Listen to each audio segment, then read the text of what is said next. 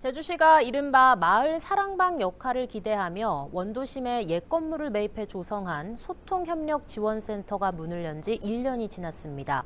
마을을 관리하는 협동조합 역할부터 각종 수익 창출 사업까지 아우르며 주민들의 역량 강화를 위한 소통의 장으로 자리 잡아가고 있습니다. 이정훈 기자가 보도합니다. 향수와 그림책을 통해 자신만의 심리 상태를 알아보는 설명이 흥미롭습니다. 오늘의 제 감정을 향기로 알아보니까 너무 좋았고요.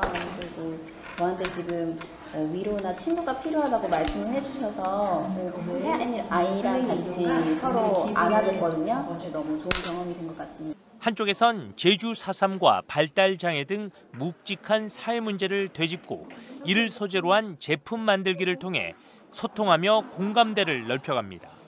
제주시 소통협력센터가 개관 1주년을 맞아 지역 혁신 활동가들이 주민들과 함께 할 수 있는 자리를 마련했습니다.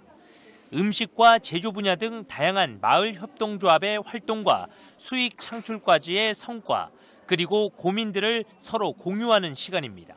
저희가 1년 동안 사업을 같이 지역, 어, 지역에서 계속 활동하면서 만났던 분들과 함께 제주의 삶에 대해서 조금 더 같이 이야기하고 이 자리는 제주도민이시면 누구나 참석하실 수 있게 모든 프로그램들이 준비되어 있습니다. 소통협력센터는 회의실과 사무공간, 공유부엌, 어린이 놀이터 등 다양한 공간을 제공해 지역 혁신 활동가들 뿐만 아니라 경력 중단 여성들에게 다시 새로운 도전을 꿈꿀 수 있는 기회를 제공해 왔습니다. 네, 저희는 경력단절 엄마들이 모여서 만든 협동조합인데요.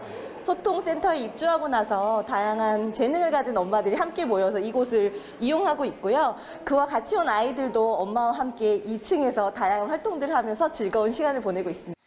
이 밖에도 교통 문제가 심각한 원도심에 출퇴근 차량 공유 서비스를 도입하는 등 지역 사회 문제 해결을 고민해 왔습니다. 지역 주민들의 커뮤니티 공간에서 혁신 활동가와 협동조합의 수익 창출 사업까지 아우르며 소통 협력 지원 센터는 주민들의 역량 강화를 위한 소통의 장으로 자리 잡아가고 있습니다. KCTV 뉴스 이정훈입니다.